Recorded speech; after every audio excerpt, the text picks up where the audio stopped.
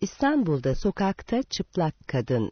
İstanbul Esenyurt'ta polise gelen bir ihbar şok etti. İhbarda sokakta çırılçıplak koşan bir kadın var denilince polis harekete geçti.